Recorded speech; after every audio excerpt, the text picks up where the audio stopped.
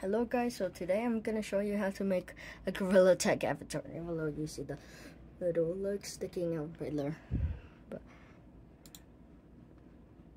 let's see. Right. So first things first, you need the um you need the Owen Dick hoof. You need the Owen Dick hoof body bundle Eh. and you need the Jester Quinox. And you need the Gnome Gnome body part or body bundle.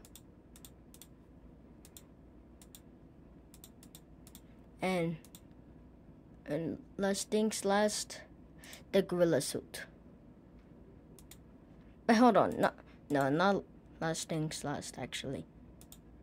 Go to classics head or classic heads. Use the cheeks one. Build. Make it tall.